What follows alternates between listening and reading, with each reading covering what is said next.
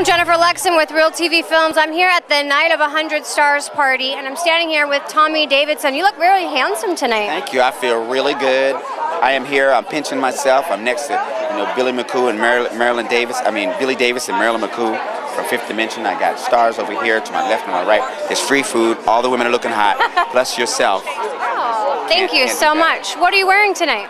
Um, uh, Sean Puffy gave me this. I like it. You look really amazing. It's good to see you. Thank you so much. I'm glad to be here. Like I said, um, the winners are going to be the winners. I'm just good. I'm glad to be here. Agreed. We'll have to enjoy some food and drinks, and it'll oh, be a yeah. good night. Oh yeah. I mean, you know, we as actors and comedians, we work hard all year. There comes one night where everybody kind of like looks at us.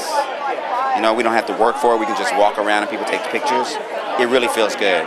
All right, well, thank you for your time. You have anything special that you're coming up that you want to give us a little in on first? Yeah, um, me and Cedric the Entertainer have a movie coming out in April called Chicago Jones. Excellent. Looking forward to it then. Thank you. Have a good night. You too, sweetie.